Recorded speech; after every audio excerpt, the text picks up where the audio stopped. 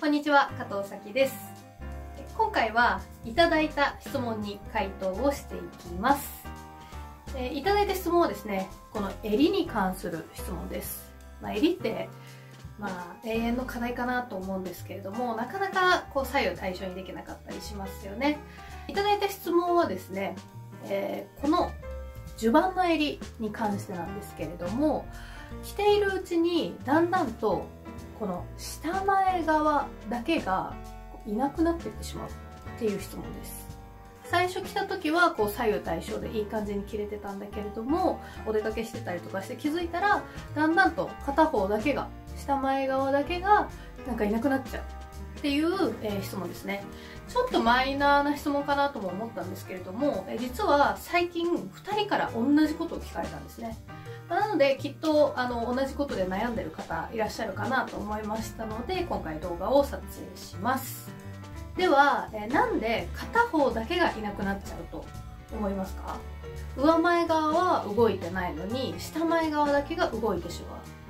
この原因っていうのはですね実は最初から左右対称できていないってことなんですね。これ着たばっかりの時はここ左右対称に見えているんだけれども実は左右対称に着れてないっていうことがよくあるんですね。これについてここから詳しく解説をしていきます。はい、えー、ということでボディちゃんに序盤をちょっと着せてみました、えー、ここでですね見ていただきたいポイントっていうのがあるんですね。左右対称かどうか。この襟がきちんと左右対称に切れてるかどうかを見るポイントっていうのはここではないんですね。ここじゃないんですよ。多分みんなねここしか見てないと思うんですけれどもここだけではなくってこの道筋全てを見てほしいんですね。結局この襟を止めてるのってここですよね。ここ。ここでこの襟を止めているのでこの止めている場所ここで左右対称でないとここも左右対称にならないんです。わかりますかね？だからここだけ見てこう左右対称であってもこの紐で止めている場所ここが左右対称でなければ、えー、左右対称には切れてないっていうことに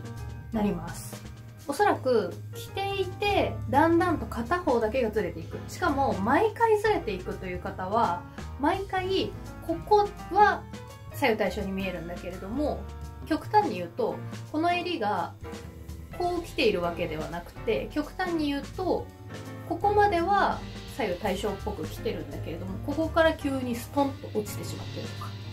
っていうことが、えー、よくあります。では結構やってしまいがちな左右対称ではない合わせ方を、えー、やっていきます。えっとまあ大体こう後ろを後ろを抜いてから前を合わせると思うんですけれども、まあ、いろんなやり方があると思うんですが、え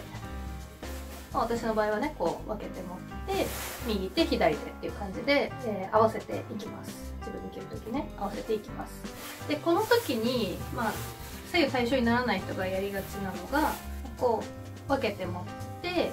右手左手。この時にここなんとなく左右対称に見えてるんだけれども、えー、よくあるのが手をこうパッと抜く時。この下下前を持ってるこの手をこの手をパッと抜く時にちょっと一回こっち開いちゃいますね。この手を本当は上前かぶさっててこの手をパッと抜く時にちょっとこう戻っちゃってるんですよ。抜く時に。ちょっと戻っちゃってる。っていうことがよくあります。なので抜いても左右対称かどうかを確認をしてください。あともう一つありがちなのがこう合わせるんですけどこの持っているとこよりも下が、まあ、極端にやるとなんかこういう感じでストンと落ちてるとか。で結局紐を結ぶのは胸の下ここになるのでなんかまあめくれるまで行く人はそんなに多くないんですけれども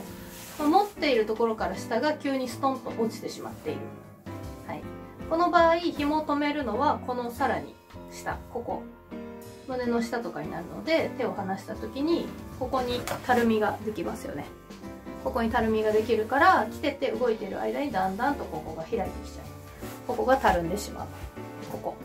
ここがたるんでしまう。っていうことが、えー、起きやすいです。しっかりとこのこの半襟ねこれを体に沿わせるように。体に沿ってますよねこれ。全部ピタッとくっついてますよね。はい。沿わせるように合わせてあげるっていうのが大事になっていきます。ということでですね、まあ、着てる間に必ずなんか下前だけがなくなっちゃうとか毎回ここがなんか動いちゃうっていう人は大体ですねあの着方に何かしらの癖がついてる人が多いです。なので今回の場合は、えー、襦袢を着た時、えー、伊達締めまでした時とかですね。に一度鏡をしっかり見て襟の道のりがですねあの左右対称にきちんとなっているかっていうのを確認をしてあげてください。この時点でこの紐をする場所胸のすぐ下で左右対称になっていなければ必ずずれます。その後必ずずれてしまいます。なのでしっかりと左右対称になっているかを確認をしてください。最初は左右対称をしっかり見るっていうのはちょっと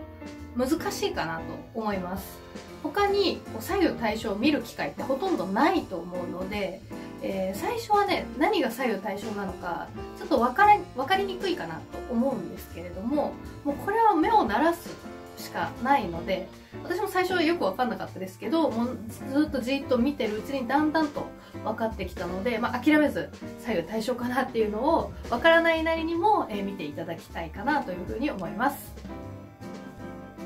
ただいま着物をスラッと着こなすためのスレンダー着付け術